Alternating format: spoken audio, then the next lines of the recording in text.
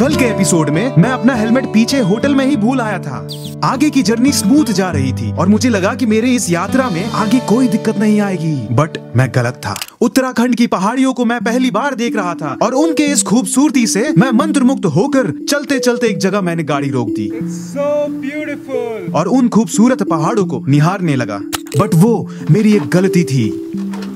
जब scooter start किया तो स्टार्ट ना होए।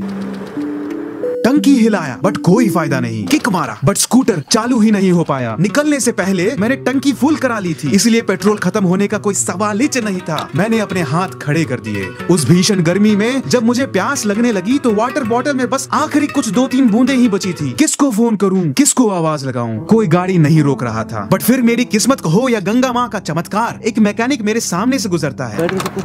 और वो मेरी गाड़ी ठीक कर देता है। अभी प्यास बहुत लग रही है तो मैं आपसे कल मिलता हूँ। भैया, पानी है क्या?